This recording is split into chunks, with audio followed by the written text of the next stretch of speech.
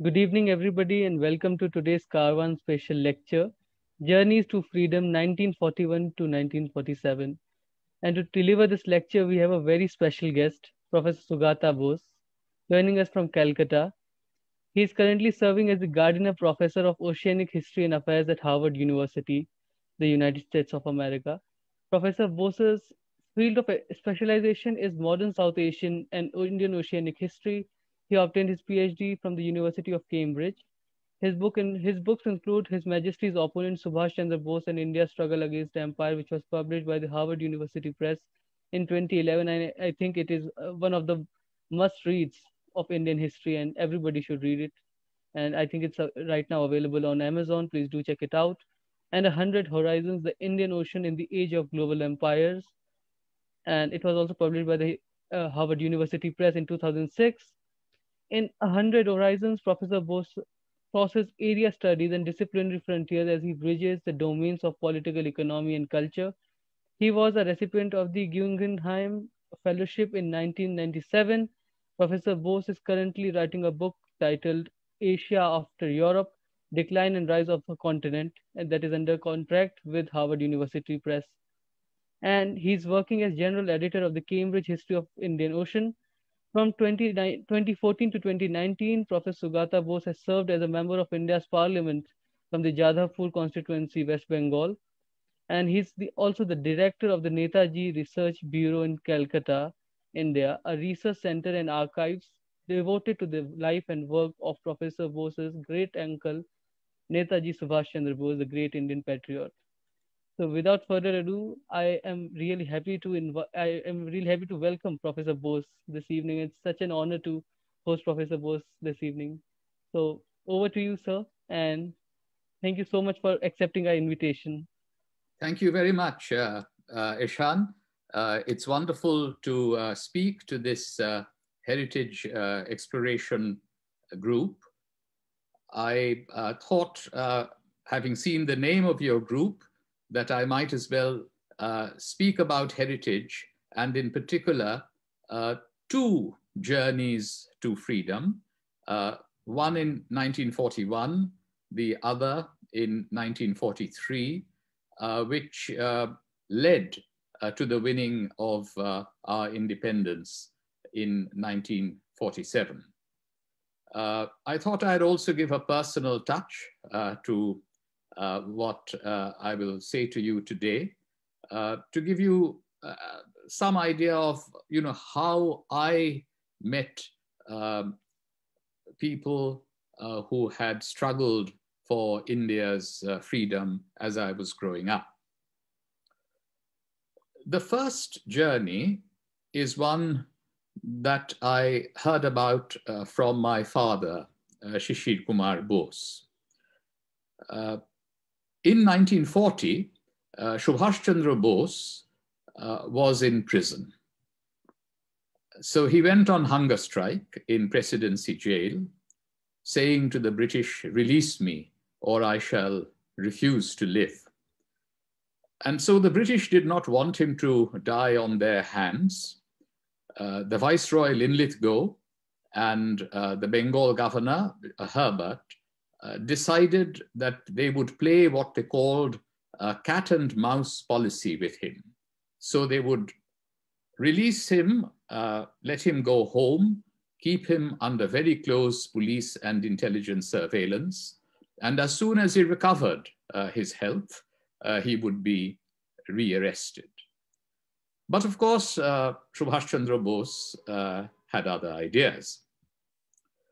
So on the day that he was brought uh, to his uh, Elgin Road home, that was the 5th of December 1940, he called his nephew, uh, my, later my father, Shishir Bose, uh, and clasped his hand for a very long time. But he didn't say anything to him that day. A few days later, after the stream of visitors had waned a little bit, he sent word to my father that uh, he should come across. In those days, there were two historic Bose houses. One was 38 by 2 Elgin Road, um, which had been built by Janakinath Bose, my great grandfather, uh, Subhash Chandra Bose's father, in 1909 1910, uh, which now uh, is called Netaji Bhavan, and the Netaji Research Bureau is based there. And there was another house which uh, Sharath Chandra Bose, uh, my grandfather, had built in 1927. Now, Subhash used to live in One Woodburn Park, but from 1937, at the request of his mother, he had started living in Elgin Road, in what used to be his father's bedroom. So on receiving his uh, uncle's summons, uh, Shishir walked across from the one Woodburn Park house to 38 by 2 Elgin Road. Uh, Subhash Chandra Bose asked him to sit on his bed on his right, uh, looked at him, uh, and asked a famous question. Amar ekta kaj korte parbe? Can you do some work for me? And that was to help uh, plan and execute his uh, escape from India. So from that day onwards, every evening, my father would come and discuss uh, with his uncle, and they had to make what Subhash Chandra Bose described as a foolproof plan of escape uh, from the house.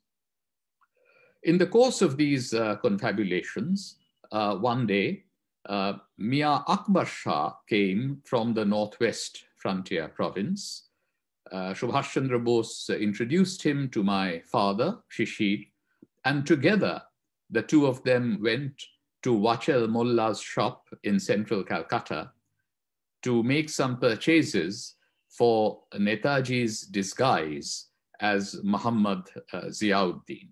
After that, uh, Akbar Shah was dropped off at the Howrah railway station to go back uh, to the frontier. On Christmas Day, uh, my father was uh, asked to take an endurance test. Uh, he drove uh, the car which you see behind me, the Wanderer. It's a 1937 car. Uh, he went up to Bardhaman railway station, had lunch there, and turned around and came back to Calcutta.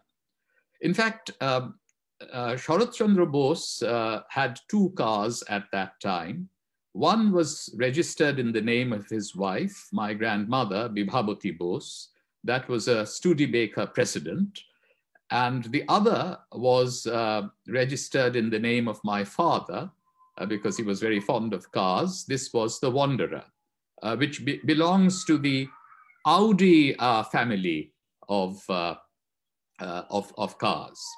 Um, and um, so finally, on the night of uh, the 16th, 17th January at 1.30 a.m., uh, my father and Subhash Chandra Bose uh, drove out of this house at 38 by 2 Elgin Road.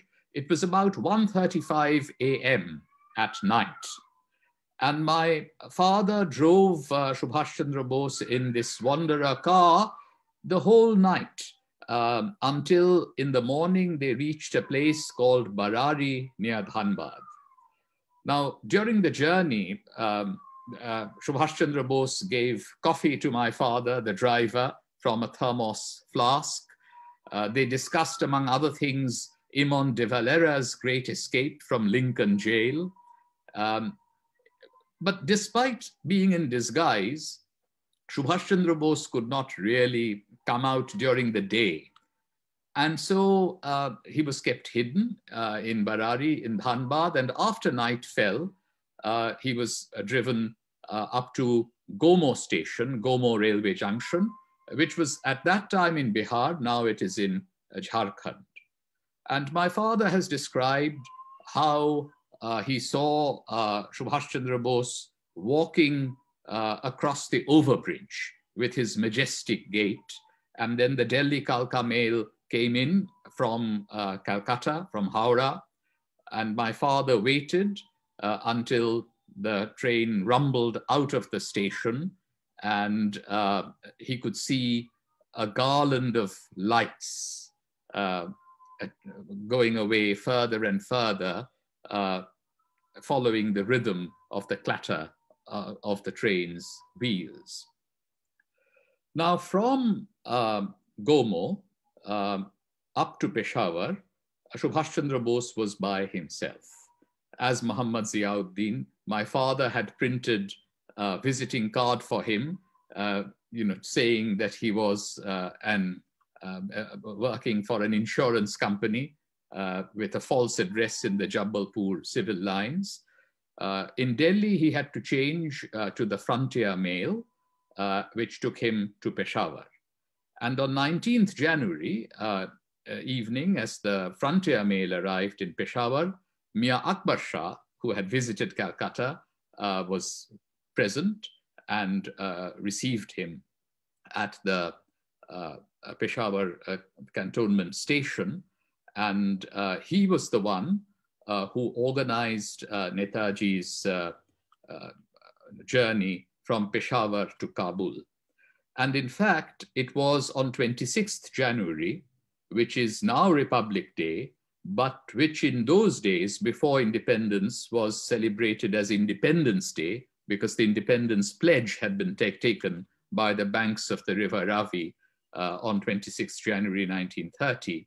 It was on that day that uh, Subhash Chandra Bose crossed uh, the territorial limits of British India into the tribal territories and eventually reached uh, uh Kabul on the 31st of March of, uh, uh, not 31st of March, 31st of January of 1941. So that was the first phase of the escape. And this was what really uh, was the beginning of the transformation of uh, Rabindranath Tagore's Deshanayak Subhash Chandra Bose to Netaji, uh, which was the, the title given to him by his followers uh, in uh, Europe uh, in 1941. Now, uh, from Kabul via Moscow to Berlin, Subhash Chandra Bose traveled under a different name, Orlando Mazzotta, that of an Italian diplomat. This was a period when the German Soviet pact was still in place. But then, after the German invasion of the Soviet Union, uh, it was not really possible uh, for Subhash Chandra Bose to execute his plan of an armed thrust from the northwest uh, into uh, uh, India. And therefore, he was thinking of uh, moving to Asia, and that plan became uh, even more urgent once Japan entered the war in December 1941. Singapore fell uh, on the 15th of February of 1942, and by March of 1942, the uh, Japanese were at the gates of, of India. But it took some time for this uh, uh, for this uh, plan to be you know, put into action. And I will now tell you about the second journey, the submarine voyage, but I'll also share with you how I got to hear firsthand about this journey to freedom. Now, 51 years ago, in January of 1970, uh, I was 13 years old, and I was told that uh, Netaji's sole Indian companion on his perilous 90 day submarine voyage from Europe to Asia in 1943 was coming to stay with us. We happily vacated the children's room as we were duty bound to do whenever Netaji's close associates visited Calcutta. This room on the ground floor of One Woodburn Park was better known as Nehru's room because that was where Jawaharlal stayed as my grandfather Sharath Chandra Bose's guest during his visits to Calcutta during the freedom struggle. We were very familiar with uh, Abid Hassan's photographs with his leader on the deck of the German submarine and their transfer together in mid-ocean on a rubber boat to the Japanese submarine. They were prominently displayed at the museum in Netaji Bhavan, 38 by 2 Elgin Road. His hair had grayed but it was easy to recognize Netaji's comrade in arms when he arrived at our home with a smile on his lips and a twinkle in his eyes, and in an instant endeared himself to us. My father, Shishir Kumar Bose, who had driven Netaji during his Mahanishkraman or the Great Escape from Calcutta in January 1941, which I have just described to you, had invited Abid Hassan on behalf of the Netaji Research Bureau to deliver the Netaji oration on 23rd January 1970. He had started this Netaji birth anniversary tradition in January 1961 when S.A. Iyer, the Minister of Publicity in the Azad Hind government, had given the first Netaji oration. These January orations were initially designed to record for posterity first-hand memoirs of those who had fought alongside Netaji for India's freedom. S.A. Iyer had been followed among Netaji's close associates by M.R. Vyas, who had been with him in Europe. He came in 1962. Hari Vishnu Kamath, a close associate of Netaji in the late 1930s in India, spoke in 1963. Then came Lakshmi Saigal, the commander of the Rani of Jhansi regiment of the INA in 1964. Girija Mukherjee, who was again with Netaji in Europe, gave a very major Netaji oration in 1965. Prem Kumar Saigal, uh, one of the Red Fort Three, uh, a senior INA officer, spoke in 1966 and Alexander Werth uh, of Germany, uh, who had helped uh, the Indian Legion that Netaji established in Europe, had been the featured speaker in 1969. Now, this is not to mention the visits of Jawaharlal Nehru in 1961, the year the Netaji Museum was established by my father, Shishir Kumar Bose, Jayaprakash Narayan in 1962, Dilip Kumar Roy in 1963, and the concert that he gave was recorded and we were able to release those songs this 23rd January for the public. And Khan Abdul Ghaffar Khan, whom I clearly remember, uh, visited uh, in December of 1969. As soon as Abid Hassan retired from the Indian Foreign Service, uh, my father, Shishir Kumar Bose, made certain that he would be brought to Calcutta in January of 1970. Uncle Abid's room, which we vacated for him, had a door leading to the beautiful curved southern veranda of One Woodburn Park.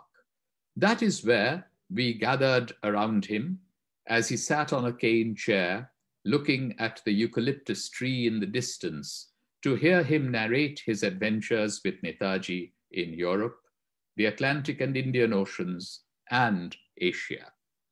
The devotion and loyalty that Netaji elicited from his followers had to be seen to be believed. As with most other men and women of the INA I have met, Uncle Abid wept profusely as he remembered his leader. I still remember trying to record an interview with Mahbub Ahmad, who had been Netaji's military secretary in 1945. Uh, this was in Patna in 1991. And each time I would roll the camera, Mahbub Ahmad would break down. And finally, he told me that, uh, look, decades have passed, but you know, I'm overcome with emotion when I speak about Netaji. And he told me that for a few months, uh, uh you know, um, he had had the privilege of working with Mahatma Gandhi before his assassination in January of 1948. Since he too, like Uncle Abid, had joined the Indian Foreign Service, he had worked with Jawaharlal Nehru. But then he told me, but there was only one leader that I was prepared to die for, and that was Netaji Subhash Chandra Bose. Now, Abid Hassan had not yet written his oration when he arrived in Calcutta in January 1970. He was provided with a desk and chair along with my mother, Krishna Bose's Olivetti typewriter in one corner of the veranda. My mother was pleased to find someone who beat her in the art of slow typing. After composing a passage, Uncle Abid would give us a shout, and we would rush to hear what he had written. After reading a few sentences, his voice would choke with emotion. He became concerned that he would not be able to deliver the oration before the public. How embarrassing it would be if I break down like this, he kept saying. My mother tried to boost his morale with a steady supply of good food and music. He enjoyed Bengali cuisine, supplemented by a bowl of green chilies placed before him. I watched him sitting at the oval marble table in our dining room with beads of sweat appearing on his forehead as he munched the chilies and tears flowed down his cheeks. After a hard day's work, Uncle Abid would say to my mother in the evening, Krishnaji, now please sing. My mother had an exquisite singing voice.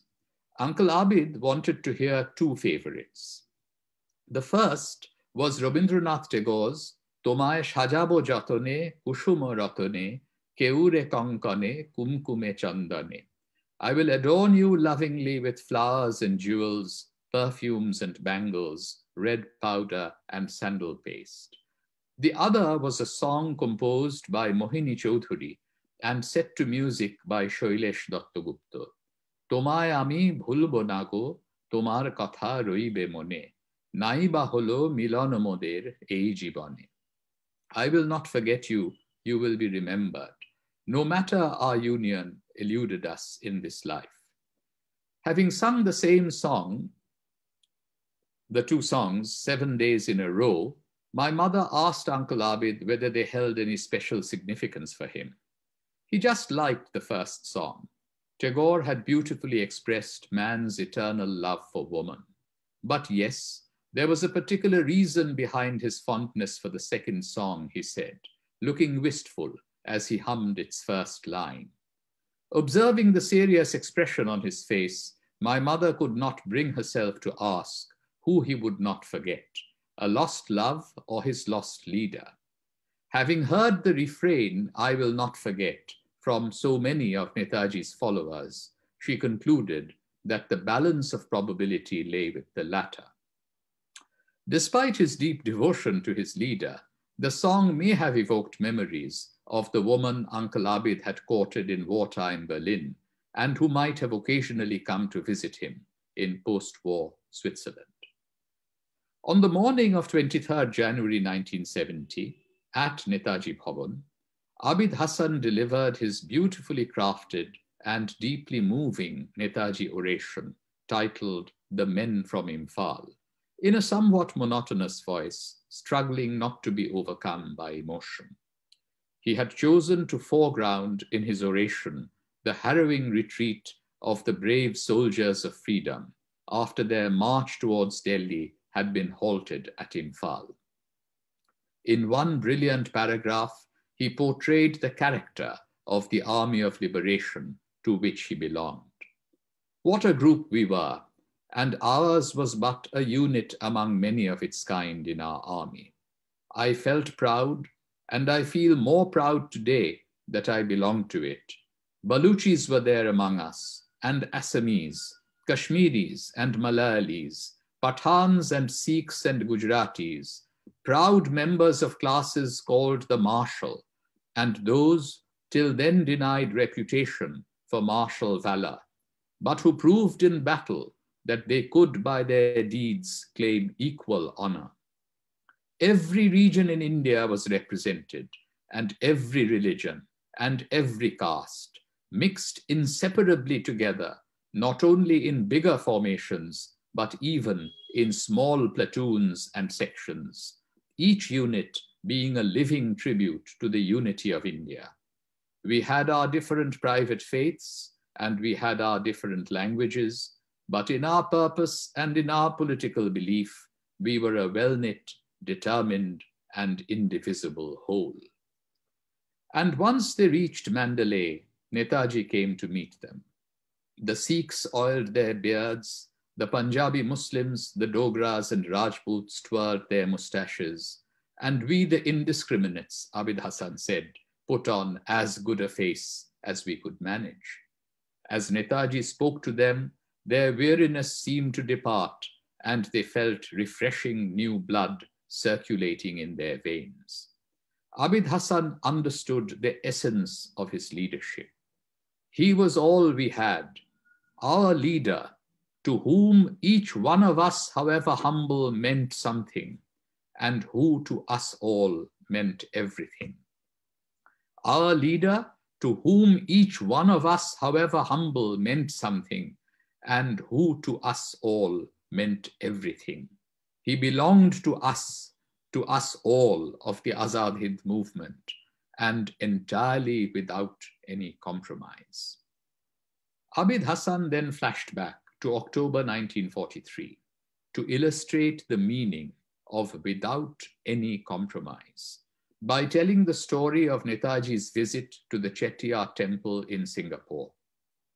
He had turned away the head priest, saying, What?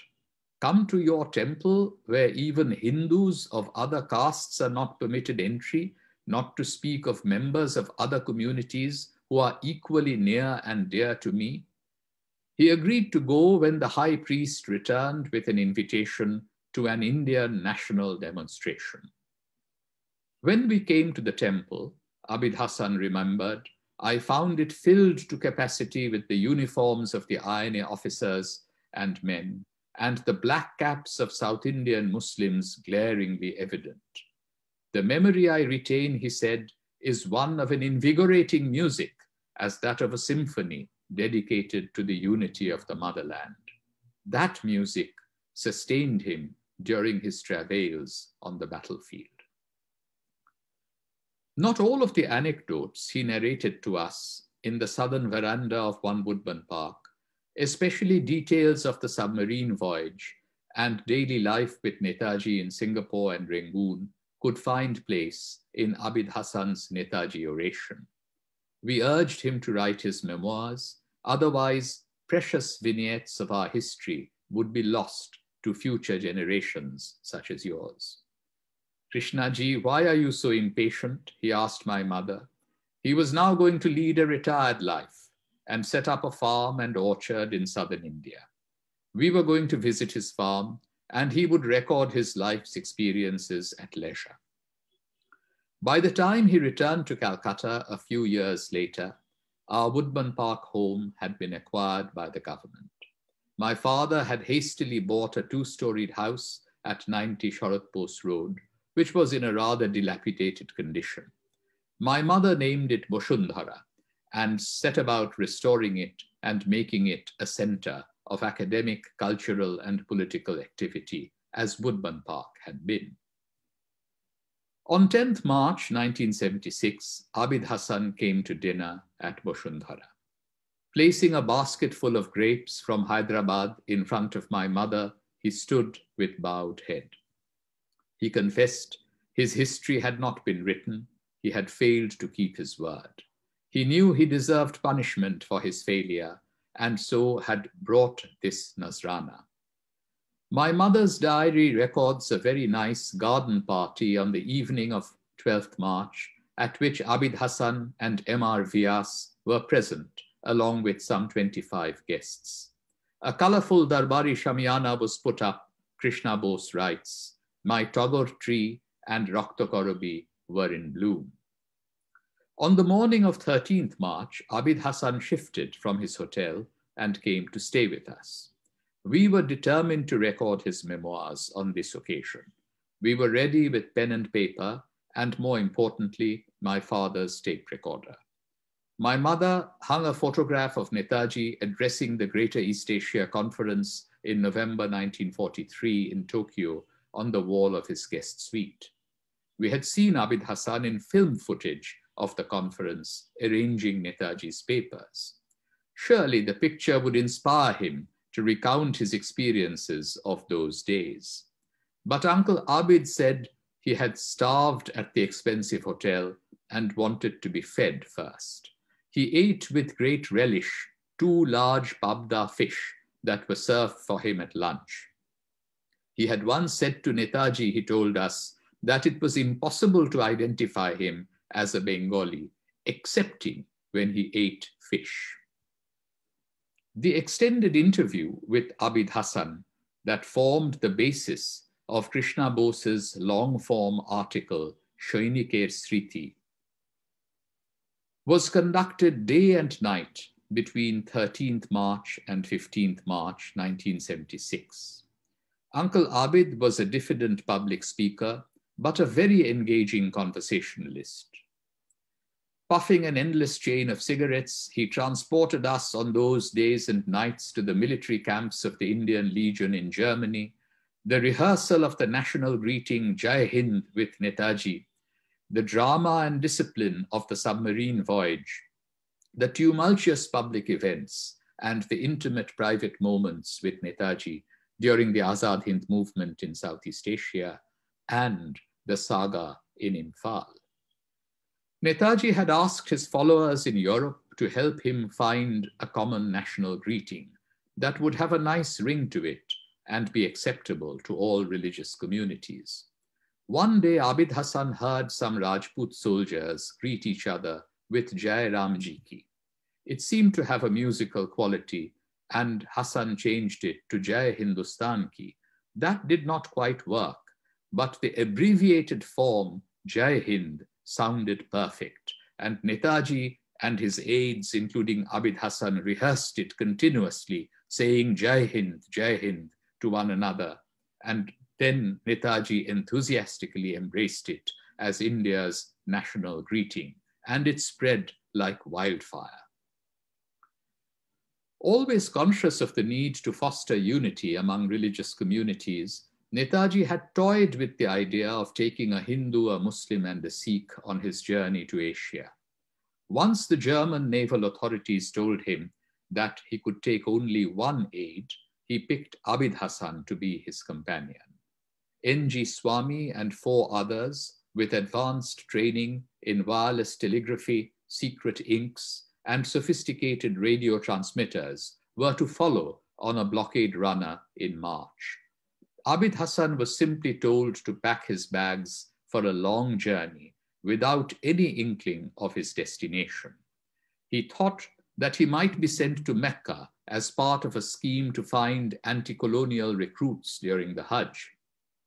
It was only when he met Netaji at Lehrter Bahnhof that he realized that he would be accompanying his leader. On the train from Berlin to Kiel, Netaji asked Abid Hassan now, do you know where you're going? Yes, Hassan replied, I know where we are going. Where are we going? Netaji inquired. We are both going to perform Hajj, Abid Hassan commented wryly, eliciting from his leader peals of laughter. He had truly become Netaji's only companion on a pilgrimage to freedom. During the submarine voyage, Netaji dictated a speech to Abid Hassan that he would deliver to women of the Rani of Jhansi regiment. Once, during a quiet moment up on the bridge of the German submarine, Abid Hassan had asked Netaji to name the worst fate he might suffer. Netaji had answered promptly to be in exile. This, as he prepared to mobilize Indian expatriates and proclaim a government in exile in Southeast Asia for a great patriotic war. Upon their transfer from the German to the Japanese submarine, both Netaji and Abid Hassan had felt something akin to a homecoming. Now, uh, there was a lot of military action during this uh, journey. Once the uh, uh submarine, the German one, had been rammed by a British ship and had uh, tilted uh, to one side, and but it had dived just in time and while all of this was going on, Netaji was dictating uh, a speech to Abid Hassan, uh, completely unflappable. And the German captain, Musenberg, told the German crew to follow the example of the Indian leader and his secretary whenever they faced a crisis of that kind. In the evening on March 14, 1976, Uncle Abid wanted a break from being interviewed and announced his intention to go shopping for Bengal's Tangail saris with my mother. By the time she got ready, he had changed his mind and wanted to buy a golden retriever puppy instead, having seen an advertisement in the newspaper. Now, those puppies could not be got that evening, but later on, we were able to get a golden retriever puppy for Uncle Abid. Krishna Bose's diary contains an important entry on 14th March 1976 regarding the tape recording session throughout the day. Abid Hassan says, she notes, on 17th August 1945 in Saigon, he would have accompanied Netaji, and Netaji himself wished so. But because of military protocol, Colonel Habibur Rahman was asked to go. He was senior. Anyway, all of them were to follow him shortly, so they did not realize that it would become a matter of such importance at the moment. Now, Habibur Rahman later recorded that as Netaji was lying wounded on his deathbed in Taipei, uh, he called Hassan Hassan. And Habibur Rahman said to him, Hassan yahan nahi hai saab, main hu Habib. Uh, so, uh, you know, clearly here was a man who was very close to Netaji, uh, for whom he had called uh, in the final hours of his life. On March 15, 1976 morning, Pandit Ravi Shankar came to see the Netaji Museum, and we all came to Netaji Bhavan to show him round. As with most visitors, he was deeply moved to see documentary film footage of Netaji. On 23rd January that year, he had presented a wonderful Netaji birthday concert for Netaji Research Bureau, performing the ragas Shyama Kalyan, Charukeshi, and Khambaj on the occasion of the second International Netaji Seminar. The first had been organized by my father in 1973, and the second one had featured Dilip Kumar Roy, Netaji's friend, Teruo Hachiya, who was Japan's uh, ambassador to the Azad Hind government, Prem Kumar Saigal and Gurbaksh Singh Dhillon of Red Fort trial fame. My parents and I had resumed our tape recording session with Uncle Abid at home in the afternoon when news came that my BA Part 1 results had come out. I was a student like many of you at that stage. After the marathon interview was done, it was time to indulge Uncle Abid. Hassan Saab and myself went to Bongosri, my mother has recorded, and bought four saris. They then went and visited my mother's parents. At about 4.30 a.m. in the morning, says the entry for March 16, 1976, of my mother's reliable diary, Abid Hassan left for Hyderabad. He remonstrated with my mother as she appeared at that unearthly hour with a cup of tea followed by us. You too, he said, looking at us. Well, I'm your driver, I told him. How else will you get to the airport? Uncle Abid, my father, my sister, and I got into our black Studebaker champion and I set off for the airport. My mother remained at home with my brother Shumantro. She waved from the balcony upstairs and heard Jai Hind, Jai Hind in the darkness as Uncle Abid said his goodbyes to the staff. It was good to have Abid Hassan with us for a few days, she noted. It was a welcome distraction from our material worries. I left for Cambridge in September 1978 and was not always present during Uncle Abid's subsequent visits to Calcutta. It was during one of these visits that my mother and he settled on the conclusion to Shoinikeer Sriti, a soldier remembers. Uncle Abid interrupted a discourse on flowers to tell my mother that he had suffered his usual fate with Netaji at their final meeting in Saigon airport on 17 August 1945. He had received a scold for arriving late with the luggage. My mother responded with the Bengali saying, Shashon kara shaje, shohag kore jego. It is only the one who showers affection who is entitled to issue a rebuke. Uncle Abid laughed and replied, I don't know about that. That is your interpretation. Uncle Abid remained a pillar of support for my father as he struggled against tremendous odds to preserve and disseminate the finest lessons of our freedom movement. On receiving the Netaji Research Bureau's new journal, The Oracle, Abid Hassan wrote from Golconda, Hyderabad on 8th December 1979. My dear Shishir, thank you ever so much for sending me a copy of The Oracle. You have brought it out very well indeed, much better than I expected. But then you are always so thorough and painstaking, attending to all minute details, just like your uncle. And it is the, this drudgery of attending to details that pays dividends in the end. I know so many people envy you when success is achieved, but of course they are not there to help you with a hand at the wheel, pulling the cart out of out when it is stuck in the mire. How many years, day in and day out, have you been attending to the Netaji seminar? It is thanks mainly to your efforts that it has now turned out to be a veritable scholarly research institute. My heartiest congratulations to you. With kindest regards, yours, Abid Hassan. My last meeting with Uncle Abid took place in 1983. I was by that time a fellow of St. Catharine's College at the University of Cambridge. After several poverty stricken years as a student, I had something of an income and decided to treat my father and Uncle Abid to a sumptuous dinner at Salloos in Knightsbridge, London. I think Abid Hassan enjoyed the European wine even more than the South Asian food. Uncle Abid, my father,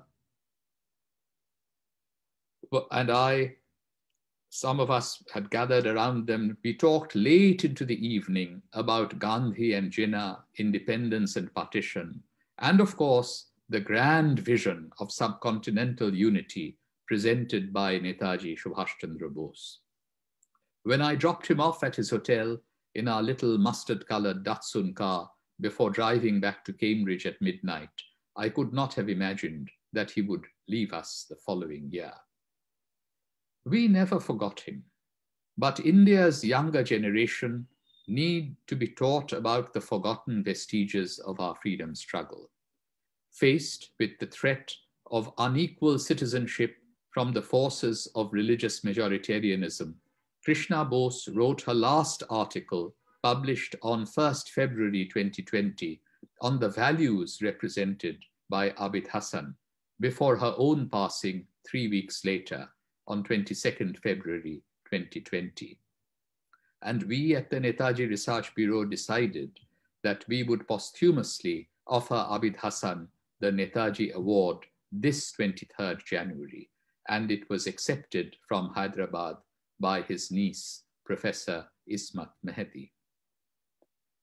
He was a quiet revolutionary, Abid Hassan was, who kept himself out of the limelight, even while being present at every vital scene and moment of the final phase of our freedom struggle across Europe and Asia. He served his country with distinction after independence in China, West Asia, Africa, and Europe. 51 years ago, Abid Hassan had in his Netaji oration referred to these frustrating times when India again seems to be a house divided against itself. The times have turned even more ominous now, and inhuman acts that Abid Hassan deplored are becoming an everyday reality in today's India. His oration was, in Shishir Kumar Bose's words, a moving affirmation of the revolutionary faith given to us by our leader. Abid Hassan had closed his oration with a message of hope. The people of India will accept any leadership provided the call remains the same, and the call cannot be, but forget not that the grossest crime is to compromise with injustice and wrong. This was a line from Subhash Bose's letter to the government before going on his hunger strike in 1940. Forget not that the grossest crime is to compromise with injustice and wrong. As he was about to proclaim the formation of the Azad Hind government, Netaji asked Abid Hassan to get the national anthem that he had chosen, Tagore's Janagana Mana, rendered in Hindustani, so that soldiers of the Azad Hind Fauj could appreciate the meaning of Tagore's song. In Singapore, Abid Hassan got the lyricist Mumtaz Hussain composed the Hindustani song in three verses rather than five of the original and Ram Singh Thakur wrote down a band score based on the original tune. Mumtaz Hussain did not attempt a translation, but sought to capture the spirit of Tagore's song. Jaya He naturally became Jaya Ho long before A.R. Rahman made Jaya Ho famous the world over.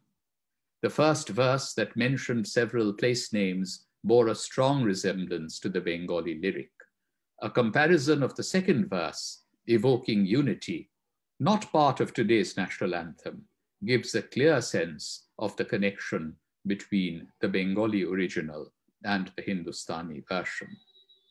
Tagore's lines were these. Aharaha tabo avhan pracharito shuni tabo udar bani Hindu বৌদ্ধ শিখ জৈন পারসিক মুসলমান খ্রিস্টানি पूरब पश्चिम आशे तब सिंहासन पाशे प्रेम हार है गाथा The Azad Hind version went सबके दिल में प्रीत बसाए तेरी मीठी वाणी हर सुबह के रहने वाले, हर मज़हब के प्राणी। सब भेद और फरक मिटा के, सब गोद में तेरी आखे। गुंथे प्रेम की माला। Can India defeat today's divisive policies and bind its diverse people together once again, as Netaji had done with a garland of love? As for our national greeting that Netaji gave us, the inspiration that he gave to the Azad Hind Fauj must be rekindled today by India's younger generation. Jai Hind.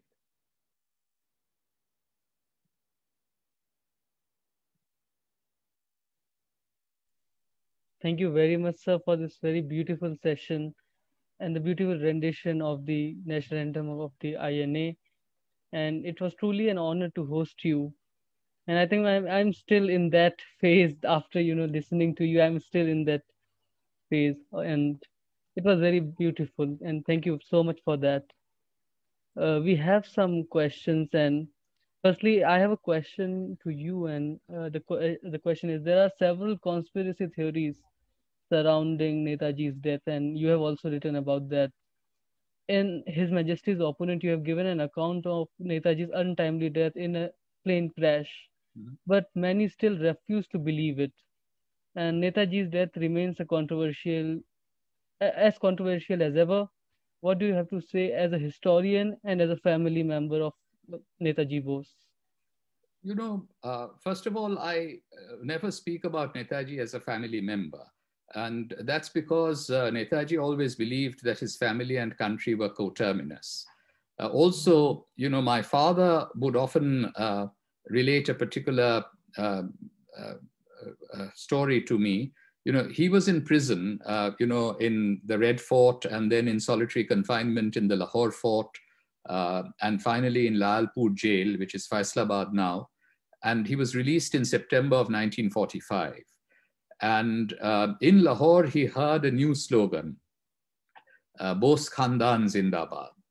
And when he came back uh, by train from uh, Lahore to Calcutta, uh, and everywhere there was this slogan, uh, his father, my grandfather, Sarat Chandra Bose, told him that don't let these kinds of slogans turn your head. You've lost four years of your studies in medical college, go back and uh, finish your studies, become a doctor, and then you can serve your country in whatever way you like. Um, but remember that uh, this is Subhash's reflected glory. And my father always would tell me this uh, when I was uh, uh, growing up. But I do have uh, my, you know, role as a, as a historian. And I can understand that in the immediate decades after independence, there was a, a mass psychological phenomenon in India. And people wanted Netaji to return and solve the country's problems. But, you know, um, when we are faced with all kinds of bogus conspiracy theories, uh, including, uh, you know, one or two uh, fabrications which are designed to denigrate him, uh, I think we need to face up uh, to the facts and accept the historical truth. And there is overwhelming evidence that tragically, uh, Netaji died on the 18th of August 1945. In fact, he laid down his life. He was the only top ranking leader of the in India's freedom struggle who um, sacrificed his life on the battlefield. And we need to honor his martyr's death. And I have faith in the younger generation of Indians that they will be mature enough to come to terms with what I've called the mortal end of a deathless hero. Uh, and, you know, there were uh, seven survivors of the crash. Uh, there were doctors, there were the nurses, uh, an, an, interpreter who was brought, and of course, Habibur Rahman was there. Uh, so let us focus on his life and work because we still have a lot to learn from his book of life. That's true. And the second question relates to somewhat contemporary theme, and that is uh, Netaji has been politically appropriated by both left, right, and also center.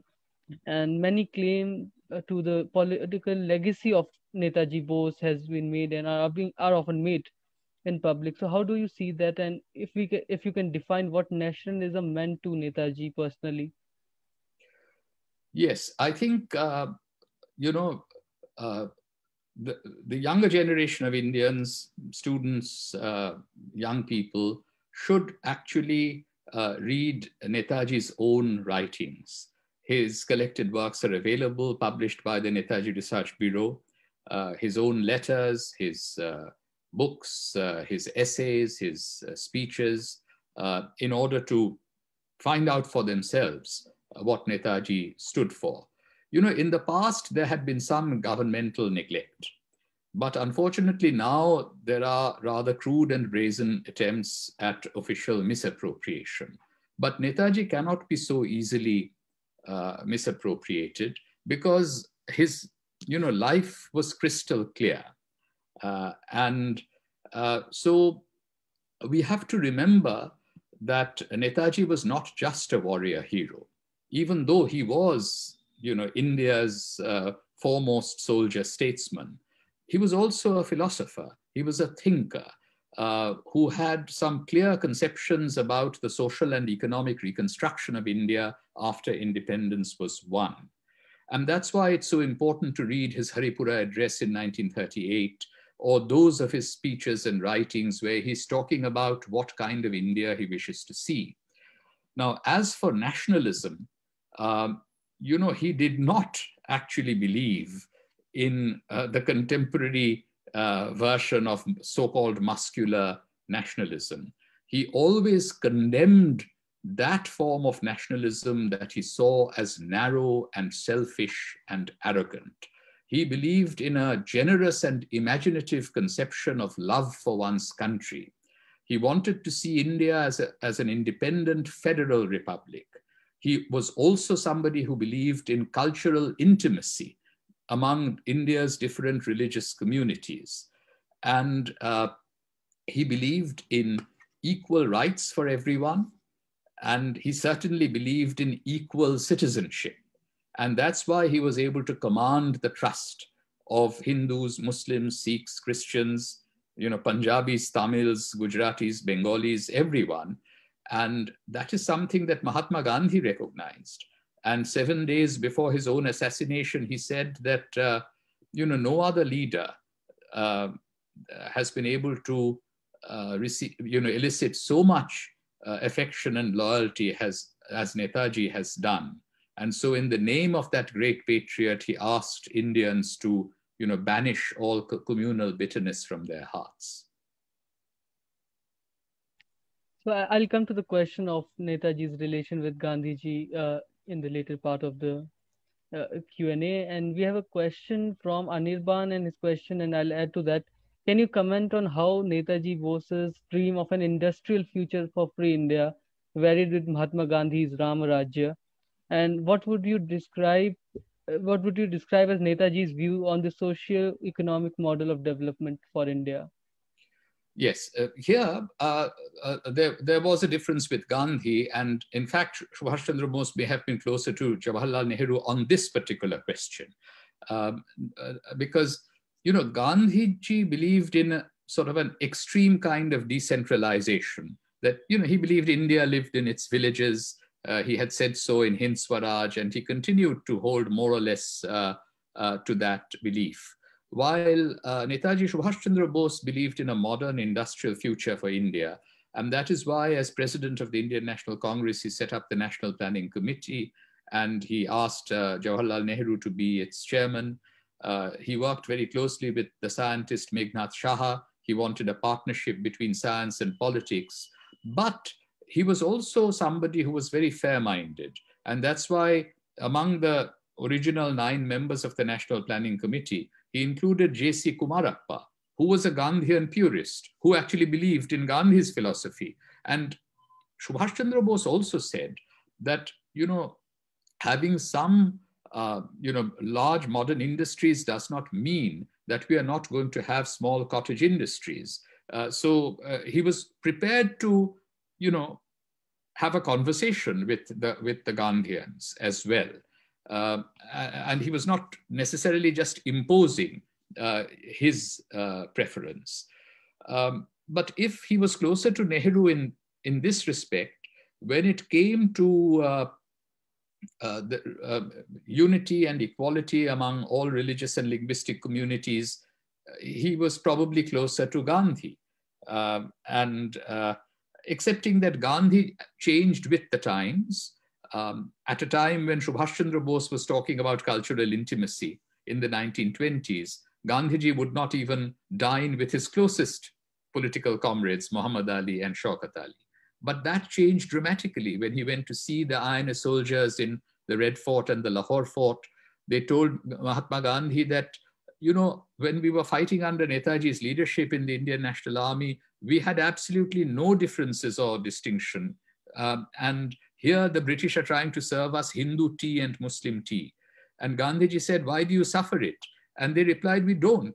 We mix what they give us as Hindu tea and Muslim tea uh, to, and uh, equally and then uh, serve. Same with food.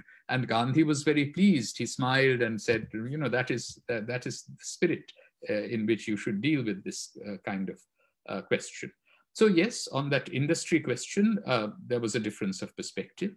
Um, but in many other ways, uh, you know, they were, they were quite close together. And particularly after 1942, after Gandhiji launched the Quit India movement, there were hardly any differences in the aims and ideology of Mahatma Gandhi and Netaji Subhash Chandra Bose.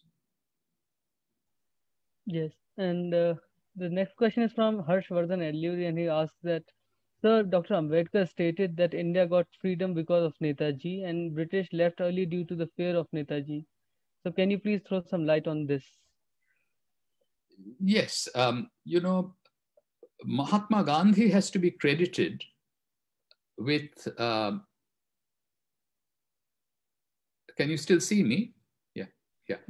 Uh, uh, Gandhiji, uh, you know, uh, must be credited with bringing about a mass awakening in India, uh, particularly during the first non-cooperation movement, 1919 to 1922 uh, he changed nationalism, particularly the Congress, which was a club of uh, the educated elite, into a mass political organization. But then, you know, uh, Subhash Chandra Bose worked under Gandhiji's leadership for 20 years, and he saw that the civilian masses in India had all rallied to Mahatma Gandhi's call. But Indian soldiers were still loyal to the British King Emperor. So that's why he wanted to take advantage of the international war crisis. Uh, and he wanted access to these Indian soldiers. He wanted to change their loyalty to the British with a new loyalty to the cause of India's freedom.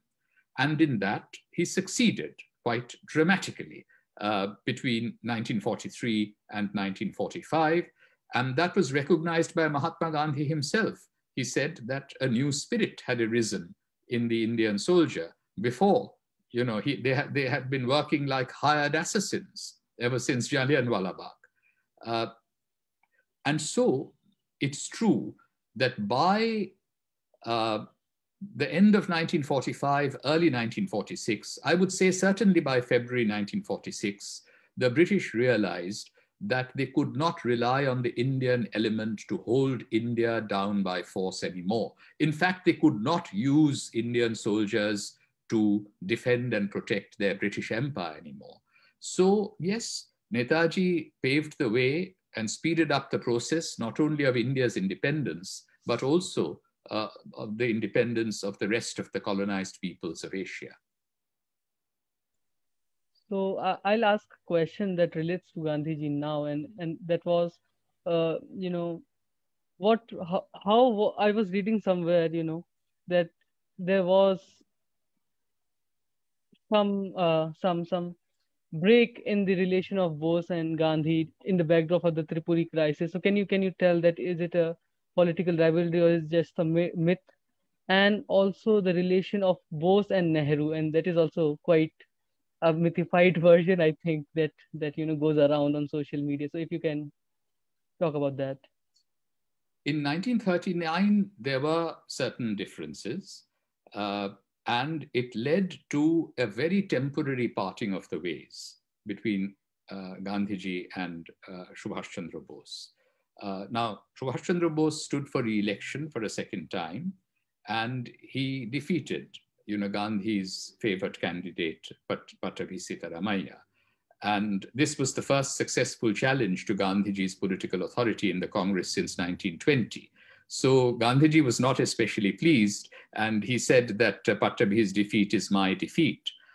But Subhash Chandra Bose did not accept that interpretation he basically said that this, um, you know, contest was not uh, with you, and that he actually said that it would be a tragedy for me if I gained the trust of all other Indians and failed to win the trust of India's greatest man.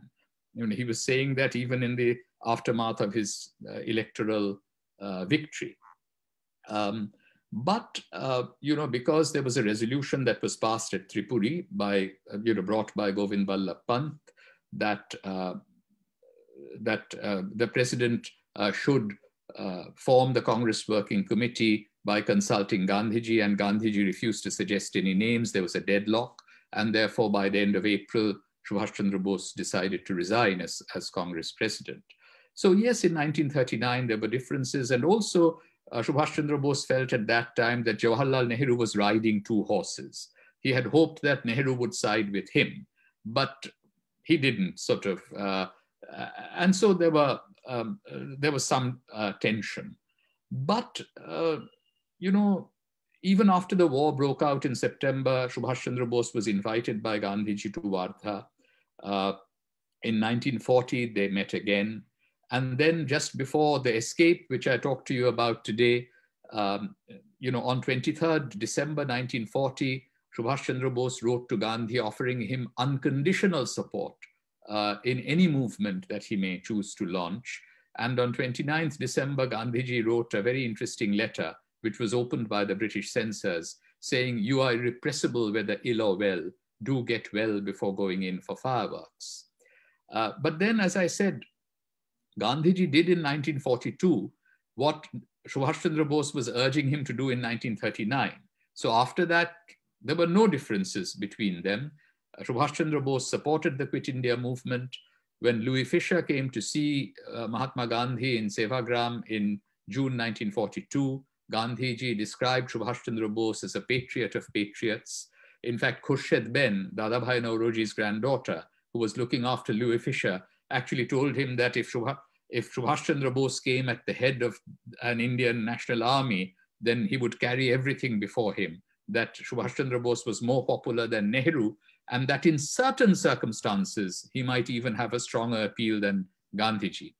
Uh, so he, this is what a devoted follower of Gandhiji was saying uh, at his ashram. And Subhash Chandra Bose returned the compliment. Mean, he was the first to address Gandhiji as father of our nation. The father of our nation, in this holy war for India's liberation, we ask for your blessings and good wishes, he said from Rangoon uh, radio. Uh, in fact, in the first division, I mean, he named three brigades of the first division of the INA after Gandhi, Nehru, and Azad. And it was the Gandhi Brigade which fought heroically in Imphal. And in fact, Abid Hassan, whom, whom I was uh, talking about, uh, fought as a member of the Gandhi Brigade of the, of the INA. And before joining Netaji, he had spent time in Sabarmati Ashram. So, so there are many, many connections and since I talked about 38 by 2 Elgin Road, Netaji Bhavan, you know, one photograph that you see as soon as you go up the main stairs of Netaji Bhavan before you go to Netaji's bedroom um, is a photograph of Mahatma Gandhi visiting Netaji's bedroom, paying homage to his rebellious son uh, in December 1945. So that was the kind of relationship that the two had. And I have read all of Gandhiji's works from 45 to 48. And every reference to Netaji is in the form of a eulogy.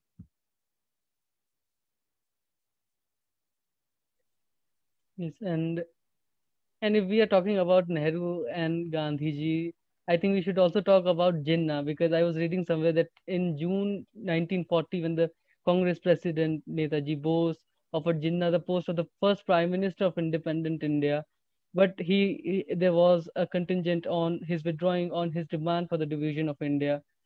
So can you throw some light on that because that's I think one of the most uh, interesting part. Subhash Chandra Bose had good relations with Muhammad Ali Jinnah, and in fact, when as Congress president, uh, he was negotiating with Jinnah, and he visited uh, Jinnah at his Malabar Hill residence in uh, in Bombay. Uh, you know, uh, there was a possibility of a breakthrough. Unfortunately, uh, what had happened was that Nehru had said in 1937 after the elections that there were only two parties in India, the British and the Congress. And uh, so, you know, the Muslim League uh, wanted to be recognized as the sole representative organization of the Muslims of India and uh, Jinnah as the sole spokesman.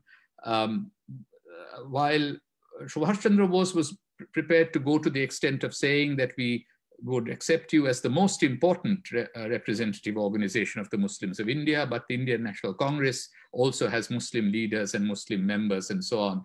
So, you know, they weren't able to clinch uh, uh, an uh, understanding.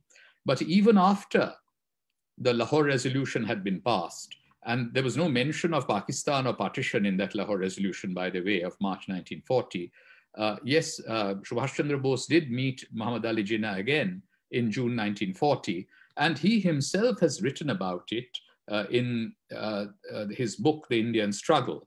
Uh, and I have quoted from it in the new introduction to my book, His Majesty's Opponent, in the new edition of 2019.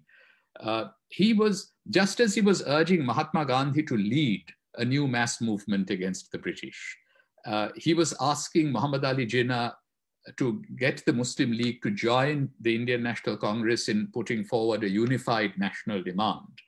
Uh, and he basically said that if you joined the Congress uh, in this mass movement to win India's freedom, then you will be India's first prime minister. So Subhash Chandra Bose had said in 1940 to Jinnah what Mahatma Gandhi would say in April 1947.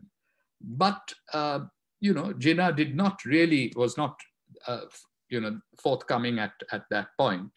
And uh, so, uh, you know, Netaji chose his path to lead an armed struggle for India's independence. But in his movement, if you see, um, you, you know, Hindus, Muslims, Sikhs, Christians all had an equal role to play.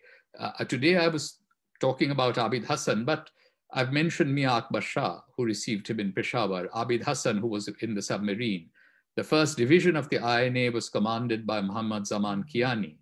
Um, the uh, Indian tricolor was hoisted in Moirang near Imphal by uh, Shaukat Malik.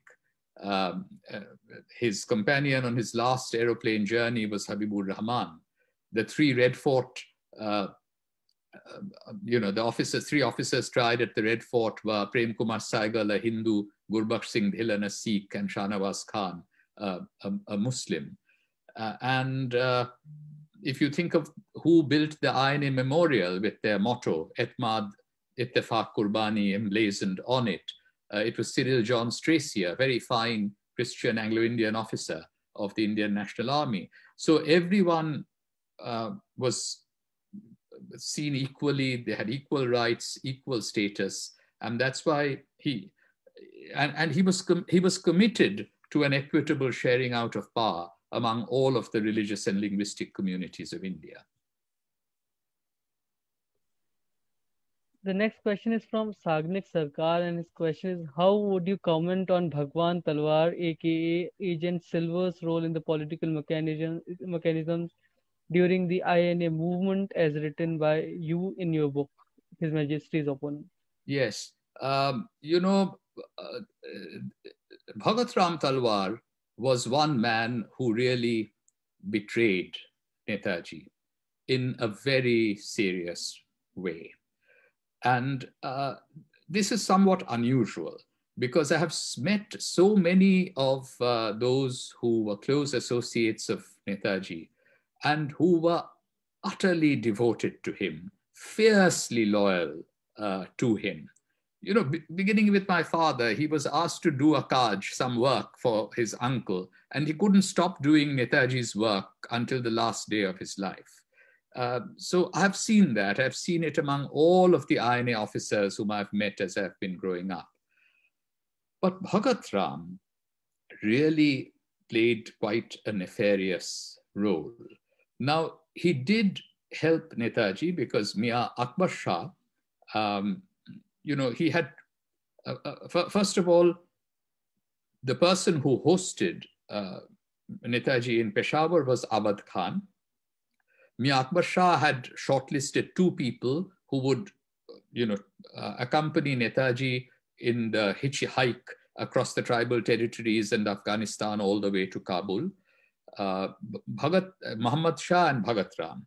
Bhagat Ram was very keen, so ultimately the role was given to Bhagat Ram. And he did accompany Netaji, and he knew that terrain quite well. Uh, so they were walking, they were, they were, they were riding, uh, they, they were hitchhiking on trucks or tongas and so on. It was a, um, and, but uh, Bhagat Ram, of course, completely failed in terms of uh, uh, making any headway with the Soviet legation. It was Netaji who barged into the German embassy. Later on, it was he who spoke to the Italian uh, ambassador Pietro Quaroni, and that's how they, they were able to get, uh, he was able to get out of Kabul. And he did give um, a manuscript, uh, a letter, and a message uh, to Bhagat Ram, which he did deliver to, uh, to my father, Shishir Kumar Bose, and my grandfather, Sarat Chandra Bose, in Calcutta by the end of March of 1941. But uh, what happened was that, you know, after June 1941, once the Soviet uh, Union uh, entered the war, the communists decided to shift their interpretation of the war. From an imperialist war, it became a people's war. Uh, and from that point onwards, uh, Bhagat Ram veered towards the communists. But then it's one thing to ideologically support the Soviet Union, but he went much, much, much further. Uh, and uh, he was basically, um, uh, you know, giving information to the to the British. He was even, uh, you know, once he was arrested, he made a long confessional statement, and then he was sitting in what are the gardens of today's Rashtrapati Bhavan and helping uh, helping the British. And in fact, even my father's imprisonment, uh, I, I, believe, was a result, uh, his later imprisonment. He was imprisoned for the Quit India movement, but his later one uh, was because of the betrayal of Bhagat Ram, because Netaji had landed his agents by submarine. There were eight of them, and uh, their leader came to see my father in Calcutta. But there were other groups which went in other directions, one to, uh, uh to, the, to the northwest. Uh, and basically, uh, everything that was coming to the Kabul legation of the Germans was being taken by the uh, by Bhagat Ram and being handed over to the Communist Party leadership and to the British. And therefore, he did some real damage to the, uh, uh, uh, to the independence movement. Now, the full story of his betrayal didn't come out uh, until uh, the 1970s and 1980s. Um, and there was a Czech historian who first found the, the document. Then I've read it myself in the British archives. Uh, it's, uh, it's rather a sordid story of betrayal uh, of, of Subhash Chandra Bose. But Subhash Chandra Bose did not use just that one channel of communication. There were other uh, links that he forged with the revolutionary underground in India. So Bhagat Ram did a lot of damage, but there was also a lot of heroism that we must recognize. I might add that we couldn't fully figure out all of this because Mia Akbar Shah, naturally after partition, was in Pakistan. And my father tried to bring him to Calcutta, but because of the state of relations between India and Pakistan, he had not succeeded.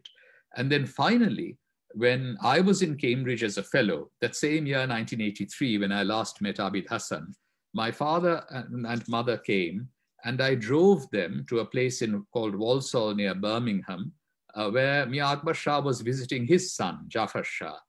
And Shishir Kumar Bose and Mia Akbar Shah met after more than 40 years and embraced. And then Mia Akbar Shah gave his full account, which was then published in the Oracle of the Netaji Research Bureau.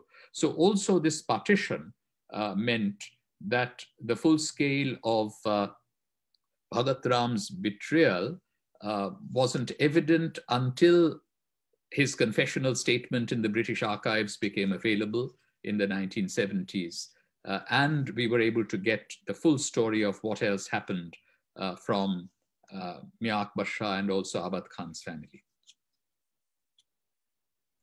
So we'll take three last questions, and one is from Afzal Khan, and his question is Could you shed some light on the relationship and cooperation between Ras Bihari Bose and Netaji during the colonial India? Were they both following the same ideological path? Okay. Uh, now, Rash Bihari Bose was considerably older uh, than Subhash Chandra Bose, and he had escaped to Japan in 1915. And he and Ananda Mohan Sahai had a good role to play uh, in, in, the late teens, the 20s and 30s, and uh, so forth, in organizing uh, Indians who lived abroad in East and uh, uh, Southeast Asia. what what one has to say about uh, Rash Bihari Bose was that uh, he was broad-minded enough to recognize that Subhash Chandra Bose was really the leader who could galvanize uh, the, uh, the Indian movement in Southeast Asia. And he gracefully transferred the leadership of the Indian independence movement to Subhash Chandra Bose uh, in, uh, uh, on the 4th of July 1943 at a meeting in the Cathay Theatre in Singapore. In fact, we have uh, film footage at the Netaji Research Bureau of that meeting where he says, you might ask me what I have been in, to- been in Tokyo for and what present I have brought for you. I have brought for you this present, Subhash Chandra Bose. But what I would say is that, you know, Rash Bihari Bose sometimes probably, you know, veered in, in the direction of what we would call away from the clear uh, commitment to secularism that Subhash Chandra Bose had. Uh, if you read some of his sort of letters of the late 1930s, uh, Subhash Chandra Bose was the one who was absolutely unequivocally committed to, um, to what uh, equality and unity. of uh, you know all of the religious communities of India. The next question is from Soumya Roop, and his question is, or her question is, did the idea of government in independent India wholly, wholly same, or there were differences between Netaji's thought and what Nehru and Gandhi thought about the governance of the independent India? Um, look, uh, you know, Gandhiji, of course, uh, as I've already mentioned, uh, believed in decentralization to the point of atomization. Uh, he even said at one point that you know the army should be disbanded and so forth. And when Nehru asked him uh, after the end of the Second World War that do you still believe in what you said about uh, said in Hind Swaraj that uh, you know doctors and lawyers and railways and post offices all should go, and we have to learn to uh, uh, you know, live in the huts in villages and not in, you know, mansions in towns and cities and so forth. Ga Gandhiji had replied saying that I don't exactly remember what I wrote such a long time ago, but yes, you know, post offices can stay. But uh, but what Gandhiji's view was that we must find the real article in India's villages, and then the large scale picture will fall into place. That was his philosophy of, of, of governance. Um, Nehru, I think, moved towards a more unitary conception of nationalism uh, and, uh, you know, took power at the helm of a rather centralized post-colonial nation state because he inherited the center of the British Raj. Uh, he could justify that by saying that he believed in socialism and therefore to carry out radical social and econo economic reforms, you needed a strong center, even if it were the center created by uh, the, uh, the, by the British. Uh, Subhash Chandra Bose, if you read the entire corpus of his works, you know, you will always find, let's say, about three essays where he seems to be saying that you do need a strong center to bring, bring about radical social and economic reforms. But if you read the entire corpus of his works, then you will see that like his political mentor, Deshabandhu Chittaranjan Das, he was, you know, committed to uh, the federal idea that Indian unity can really only be of a federal type. And being from Bengal, where you know Muslims and Hindus were more or less 50-50, Muslims a little over 50% of the population in pre-independence Bengal, and Hindus a little less than 50%. He always believed that there had to be equality and there had to be a power sharing arrangement, not just in Bengal, but in India uh, as, uh, as a whole. So I think he would have been more generous than Nehru in you know, trying to uh, reach for a, for a solution that could avert partition. And that's why I feel that, I mean, this is of course a big if of history, that Mahatma Gandhi really missed his rebellious son uh, because his more loyal political lieutenants, uh, you know, Jawaharlal Nehru and Vallabhbhai Patel, despite their political differences on economic matters and so forth, were not really listening to him anymore in 1947. In fact, he was being supported by Jayaprakash Narayan, Ram Manohar Lohia, Khan Abdul Ghaffar Khan, but without that strong support from a Netaji Subhash Chandra Bose, he could not preserve the unity of India.